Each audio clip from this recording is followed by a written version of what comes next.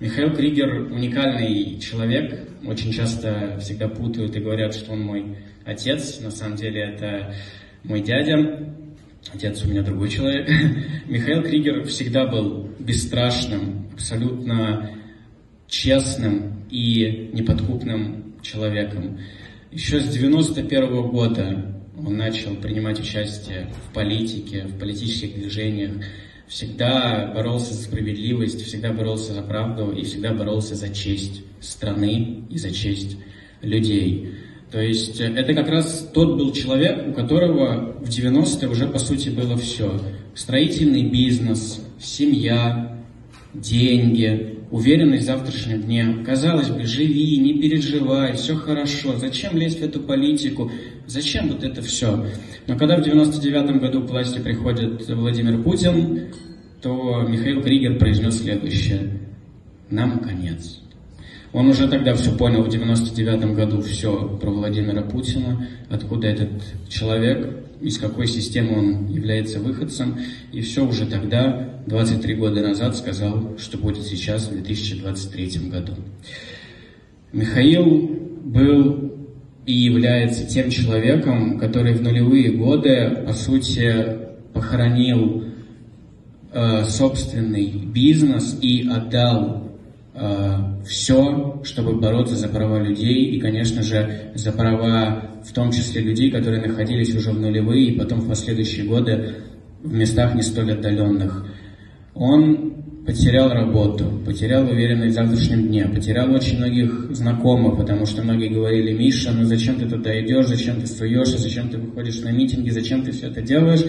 Но он постоянно выходил, постоянно участвовал в согласованных, несогласованных акциях, постоянно принимал участие в различных сборах, в том числе много раз принимал участие вот в подобного рода аукционах, очень много раз помогал, в том числе деньгами политзаключенным. И никогда не думал я честно, что и такая беда и участь коснется его.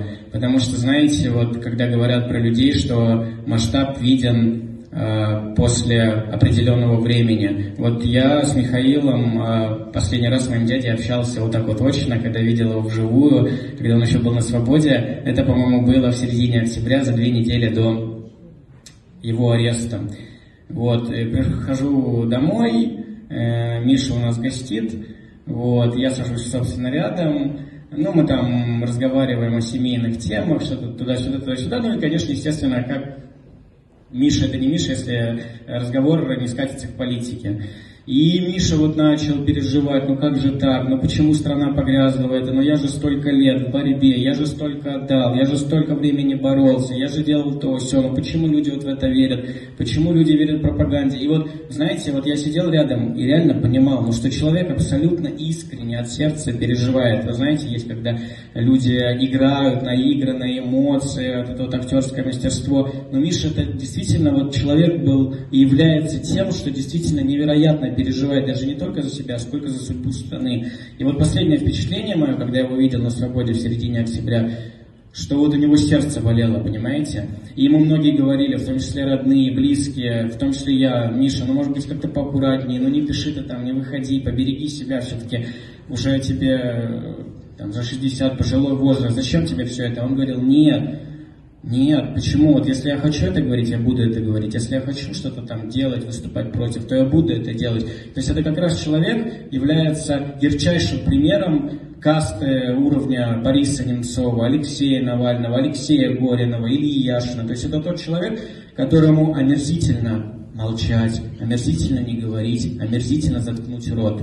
Это тот человек, которому может быть, это и цинично прозвучит, но я абсолютно уверен так. Сейчас он себя гораздо комфортнее ощущает за стенках, нежели бы он был сейчас на свободе и э, просто молчал бы и ничего не говорил. Это тот человек, как Навальный, Яшин, да, повторюсь, они себя гораздо комфортнее ощущают там, потому что они свободны внутри, за стенках, потому что это люди, которые не замолчали, не замолчат, их никто никогда не заставит замолчать. И последнее, что я скажу, вот казалось бы, все переживают, да, конечно, это очень плохо, что они находятся за стенках.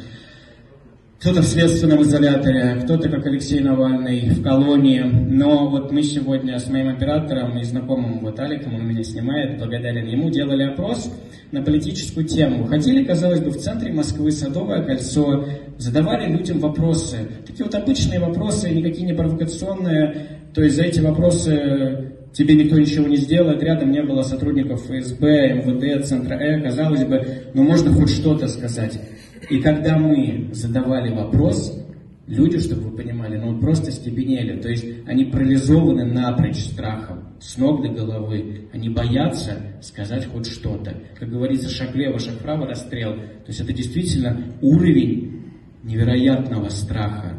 И, к сожалению, он поразил даже вот настолько высокоинтеллектуальный, казалось бы, город, как Москва, где, казалось бы, жизнь идет своим чередом, нет проблем, но люди напрочь поражены страхом и боятся. И за что я уважаю своего дядю, и, конечно, хотел бы, чтобы, дорогие друзья, вы ему написали сегодня письма, есть такая возможность, он находится в следственном изоляторе Бутырка, и в том числе поддержали деньгами, если у вас есть такая возможность. Миша, он гораздо свободнее тех людей, которые сегодня находятся на свободе. Эти люди сами не осознают, что они находятся во внутренней тюрьме. А Михаил, находясь сейчас в камере, находясь в спецблоке, он свободен. Это самое главное, что я хочу, чтобы вы понимали.